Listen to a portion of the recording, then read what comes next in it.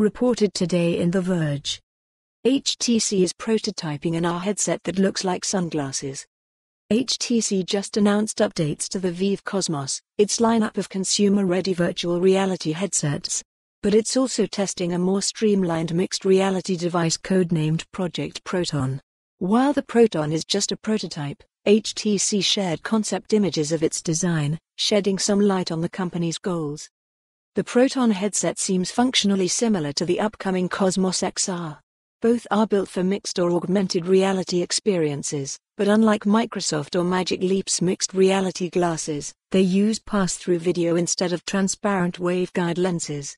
So basically, you're looking at a VR-style screen, but it shows you live video overlaid with virtual elements, but where the Cosmos XR looks like the Cosmos VR headset, the Proton looks more like ski goggles or, to put it generously, very large sunglasses. The company is revealing two different visions for the product, one that's fully self-contained and one that offloads some components to a wired external pack, similar to the Magic Leap One's puck-like Lightpack.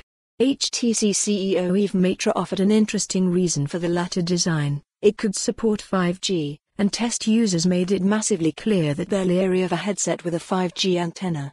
We do believe that it's not reasonable to have a 5G antenna near the brain of customers, so obviously this is something that we don't want to do, says Maitre. HTC originally said that the Cosmos might work with mobile phones. It's been mostly silent on that feature lately, and Vive America's manager Dan O'Brien says it's now a longer term goal. We're still iterating on that idea. The experience isn't quite there, he says. But we do think that we're making very good strides in that direction. In the long run, Maitre wants 5G phones to power the headset because users shouldn't have to buy a bunch of different computing devices. Maitre stressed to The Verge that the Proton is still in development, so there aren't specs, a price, or even a final form factor. It currently uses a pointer style controller, not fully tracked motion controllers like the Cosmos. HTC was cagey about the headset screen, although it told input that the Proton uses high resolution microdisplays. We've seen a few glasses style VR headsets, including a steampunky prototype from Panasonic. Other companies, like Varjo, have reworked a VR headset into a high resolution AR system.